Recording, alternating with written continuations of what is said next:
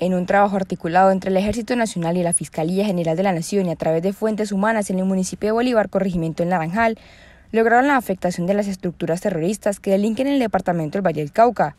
logrando la incautación de 23 artefactos explosivos improvisados en tubos galvanizados cilíndricos, tres artefactos explosivos improvisados compuestos por amonal y metralla, 200 metros de cable duplex, dos artefactos explosivos improvisados con pólvora negra y detonador eléctrico, 7 tarros con pólvora negra, 192 cartuchos 5,56 milímetros, los cuales serán utilizados con el fin de afectar a la población civil o integrantes de la fuerza pública.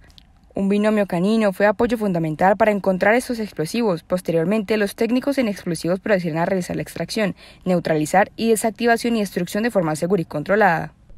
Brigadier General Julián Fernando Prieto Ruiz, comandante de la Tercera Brigada. En las últimas horas, en un trabajo importante de inteligencia articulado con nuestra Policía Nacional y tropas de Batón de Alta Montaña número 10, se logra la ubicación de dos depósitos ilegales en zona rural del municipio de Bolívar. En coordinación con Sijín, Cipol y Carabineros, se llega al sitio con estas tropas y se ubican 21 tubos galvanizados cilíndricos con 3 kilos de explosivos, 7 artefactos con pólvora negra, 200 metros de cable duplex 192 cartuchos de 5.56 y 3 artefactos tipo cilindro, los cuales pretendían seguramente ser empleados por el grupo armado organizado residual disidencia que, delinque en el sector de las antiguas FARC. Con esto se logra la neutralización, se logra